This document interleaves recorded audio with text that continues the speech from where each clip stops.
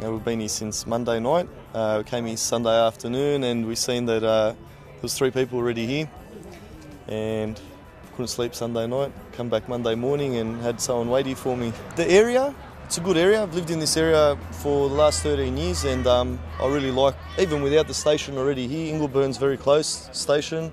Um, you know, Casula, the all, all your freeways are close. You know.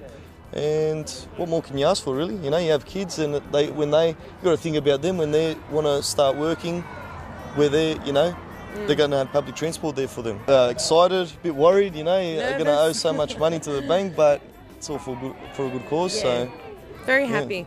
Heaps happy, yeah. yeah.